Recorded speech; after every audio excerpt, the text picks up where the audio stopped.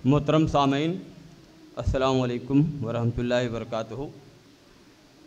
सबसे पहले ज़रूरी ऐलान ये कि आप सोशल डिस्टेंसिंग को फॉलो करें, मास्क का इस्तेमाल करें।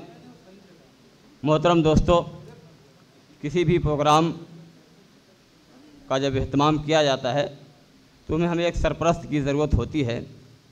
जैसा कि बैनर पे आप देख रहे हैं आज की प्रोग्राम की सदारत कौन करेगा, इसका ऐलान नहीं है, लेकिन मुझे यह हुक्म दिया गया है कि आज का ये जो अदबी और शेरी प्रोग्राम है मुशारे का प्रोग्राम है, इसकी सदारत बैन अवी शहरत याफ्ता शायर मोहतरम जनाब हसन काजमी साहब फरमाएँगे। मैं उनके नाम का ऐलान कर रहा हूँ।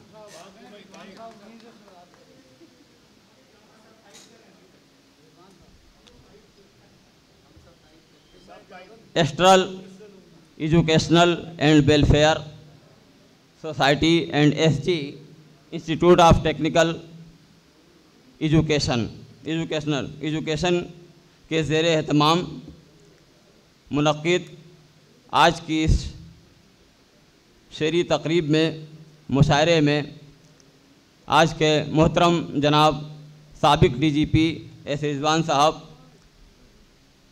उर्दू अकाडमी के सिक्रेटरी जनाब एस रिजवान साहब, डाइस पे तशीफ फरमा जनाब हसन काजमी साहब, उस्मान मीनाई साहब सहब बाबर साहब, डॉक्टर मालिका हरिओम साहब, साहिबा और सरला शर्मा। इस प्रोग्राम के रूह रवान जनाब गफरान किदवाई साहब, शाइंदा सिद्दीकी साहिबा और हमारे दिगर मेहमान। बाराबंकी से भी एक अच्छी तादाद में लोग तशरीफ़ लाए हैं हमारे सामने। सांझी विरासत के सेक्रेटरी जनाब परवेज़ अहमद साहब भी तशरीफ़ फरमा हैं। आप सबका इस्तबाल है, खैर मकदम है। मैं अपनी बात यहाँ से शुरू कर रहा हूँ कि खुदा बंदा, मैं तेरे नाम से आगाज़ करता हूँ। तेरा बंदा हूँ, तेरी रहमतों पे नाज करता हूँ।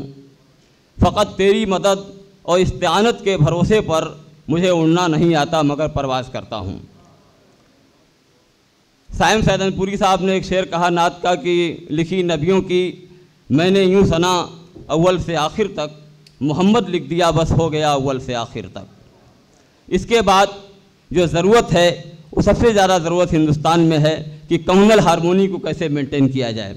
बहरहाल प्रोफेसर उदय प्रताप सिंह ने कहा, न तेरा है, न मेरा है, ये हिंदुस्तान सबका है। नहीं समझी गई ये बात तो नुकसान सबका है।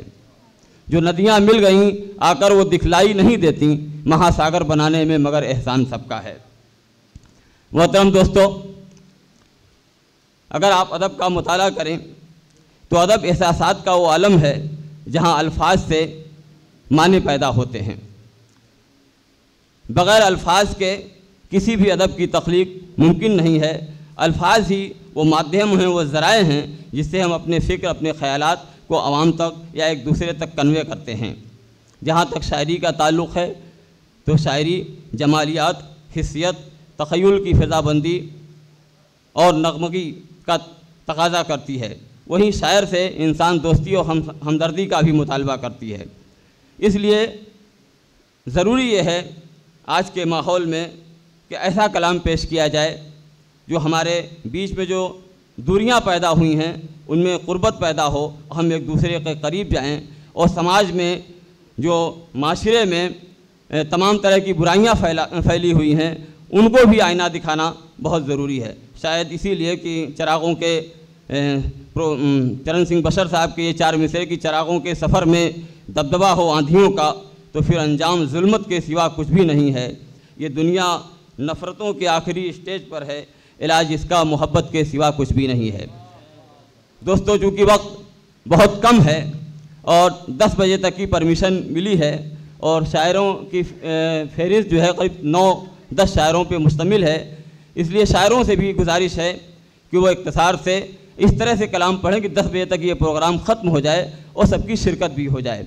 बहरहाल आइए, आज की इस खूबसूरत तकरीब के आगाज़ के लिए मैं सबसे पहले जनाब शादाब जावेद साहब से गुजारिश कर रहा हूँ कि वो तशरीफ़ लाएँ और अपने कलाम से नवाजें।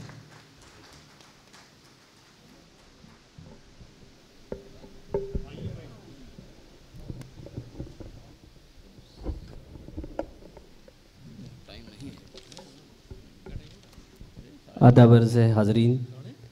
मैं आप तमामी लोगों के दरमियान हाजिर आया मेरी खुशकस्मती। यहीं उर्दू एकेडमी है यहीं बैठ के न जाने कितने मुशायरे सुने। अपने अज़ीज़ों का मैं बहुत शुक्रगुज़ार हूँ कि यहाँ आने का मौका हासिल आया। और मैं जनाब सदर की इजाज़त के साथ बिला किसी तमहीद के मैं शुरू करता हूँ। मतलब देखें कि नए ज़ख्मों का मौसम आ रहा है। नए जख्मों का मौसम नए ज़ख्मों का मौसम आ रहा है। पुराना ज़ख्म भरता जा रहा है। पुराना ज़ख्म भरता जा रहा है। अब उसके हाथ खाली हो चुके हैं। अब उसके हाथ खाली हो चुके हैं। वो मुझको हार कर पछता रहा है। वो मुझको हार कर पछता रहा है। जुदा होते हुए मैं हंस रहा था। जुदा होते हुए मैं हंस रहा था। मुझे अब इस पे रोना आ रहा है। मुझे अब इस पे रोना आ रहा है। कुछ और अशार देख लें चीदा चीदा मैं पढ़ रहा हूँ कि उदास रुत के सिवा कुछ भी मेरे बस में नहीं। उदास रुत के सिवा कुछ भी मेरे बस में नहीं। तुम्हारे ख्वाब तलक मेरी दस्तरस में नहीं। तुम्हारे ख्वाब तलक मेरी दस्तरस में नहीं। मेरे परों को ज़रा तोड़ने से पहले देख। मेरे परों को ज़रा तोड़ने से पहले देख। मेरे लिए तो जगह भी किसी कफस में नहीं। मेरे लिए तो अच्छा। जगह भी किसी कफस में नहीं। अच्छा, बहुत शुक्रिया बहुत शुक्रिया। चार मिसरे और देखें कि हाथ से कब्र की मिट्टी को छुड़ाता हुआ मैं। हाथ से कब्र की मिट्टी को छुड़ाता हुआ मैं। लाश फिर एक उठाए हुए आता हुआ मैं। लाश फिर एक उठाए हुए आता हुआ मैं, घर मेरा ढाने की नीयत लिए आते हुए लोग। घर मेरा ढाने की नीयत लिए आते हुए लोग, और उसी राह से पत्थर को हटाता हुआ मैं, और उसी राह से पत्थर को हटाता हुआ मैं। ए बाप दो छोटी गज़लें और उसके बाद जहमत तमाम वक्त का तकाजा है। गज़ल देखें कि कोई बतलाए उसकी बात हमें, वो जो कहता था कायनात हमें, कोई बतलाए उसकी बात हमें, वो जो कहता था कायनात हमें, पहले हम रात काट लेते थे, पहले हम रात काट लेते थे, और अब काटती है रात हमें, और अब काटती है रात हमें औलिया में शुमार होने थे अलिया में शुमार होने थे रोक लेती हैं ख्वाहिशात हमें रोक लेती हैं ख्वाहिशात हमें। अब आप शेर देखें एक के वरना हम लाश हैं मुकम्मल लाश वरना हम लाश हैं मुकम्मल लाश ज़िंदा रखते हैं हादसात हमें। ज़िंदा रखते हैं हादसात हमें। हम हैं दीमक ज़दा दरख्त की खाक। काट सकते हैं कागज़ात हमें। काट सकते हैं कागज़ात हमें। आखिरी गज़ल के साथ जहमत तमाम के।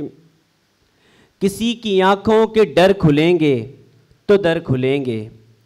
किसी की आँखों के डर खुलेंगे तो दर खुलेंगे। ये ख्वाब तुम पर अगर खुलेंगे तो दर खुलेंगे। और एक तलमी शेर देखें कि किसी को ऐसे कोई जकरिया नहीं मिलेगा। किसी को ऐसे कोई जकरिया नहीं मिलेगा। जो बीच से कुछ शजर खुलेंगे तो दर खुलेंगे। जो बीच से कुछ शजर खुलेंगे तो दर खुलेंगे। यहाँ कमानों को तान लेना कमाल कब है? यहाँ कमानों को तान लेना कमाल कब है? तुम्हारे तीरों के पर खुलेंगे तो दर खुलेंगे। तुम्हारे तीरों के पर खुलेंगे तो दर खुलेंगे। पुराने बीहड़ से रास्तों पर कदम बढ़ाओ। पुराने बीहड़ से रास्तों पर कदम बढ़ाओ। कदम बढ़ेंगे जिगर खुलेंगे तो दर खुलेंगे। कदम बढ़ेंगे जिगर खुलेंगे तो दर खुलेंगे। मक्का सुने के सवाल करने का ढंग शादाब आ गया है।